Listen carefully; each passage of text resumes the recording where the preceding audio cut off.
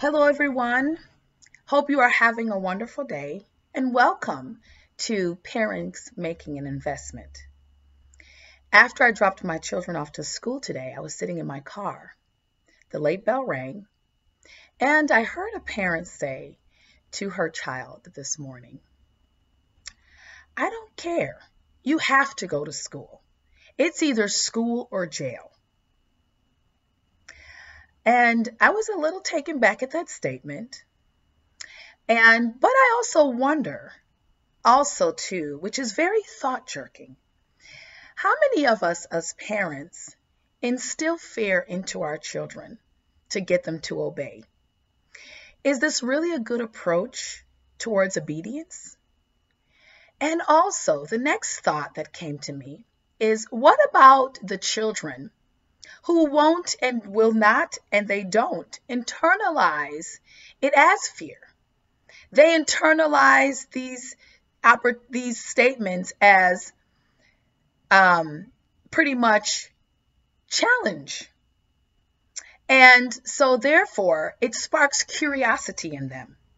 And so, when we plant those seeds, it actually will then sow curiosity. And they are the children that you will find that will want to become curious. When we say don't, they will say, well, why not? Or if we say, don't go over there or don't climb up, they say, well, let me see what will happen if I do. And so it does spark curiosity when we plant those type of seeds in those type of kids that are called the or else children. And I saw that early on with my son. And if I tell him not to, he just did not say why. He wasn't at the age to ask why because he was a toddler but he would act out on what I told him not to do. And it was more not because of being disobedient, but just curious. He was a curious child in the toddler years. And so you see that a lot of times with children that are curious, that when we make statement like that, it poses curiosity in them. And they want to find out, or they want to say, or else what will happen? and they will venture out. And so, my question today is once again, is this really a good approach to obedience? And how many of us do that? Even for the parents where you have children that are probably now in junior high or high school. Did you do this when they were younger or graduating high school? Did you do this when they're younger? And I would like to know how did it work for you? did it actually work out where it helped them to become to be obedient to what you told them to do? Did you get good results from put, instilling fear into your children? Comment below. I would like to hear from parents on all different levels today. And comment and to also share this video with others so they can comment as well. Because I would love to hear what we deem as um, an approach towards obedience. And sometimes we do see this as an approach towards obedience by making these statements. But is it really? Are we planting seeds that will germinate into obedience or that will also germinate into stereotypes? Because in a child that is curious and their mind, in any child, rather, let me correct that, will will start wondering, well, everyone that's in jail, are they not educated?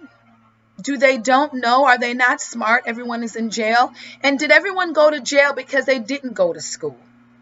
For younger kids, just that statement might resonate with them that way that people that are in jail is people that did not go to school. And because they didn't want to go to school, then they had to end up going to jail.